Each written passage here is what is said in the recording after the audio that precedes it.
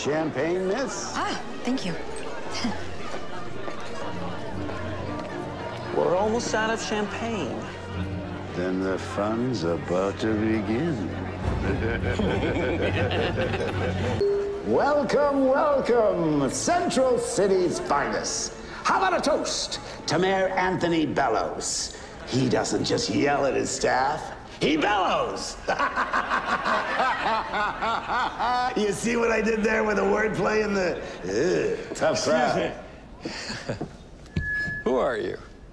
How quickly they forget. James Jesse, Your Honor, AKA uh, the trickster.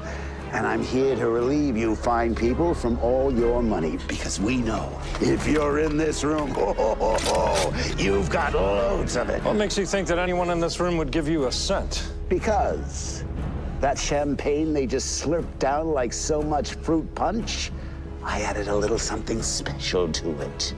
Trimethylmercury 32. Poison.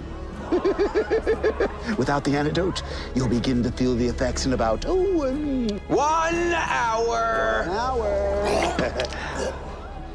I remember you. You got to the party about an hour early. I offered you the very first glass of champagne.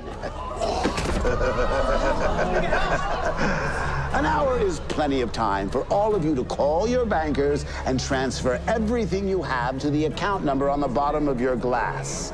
Once my young friend and I are rich, you'll get the antidote. and if any of you decide to call 911 instead, well, then we switch to lead poisoning.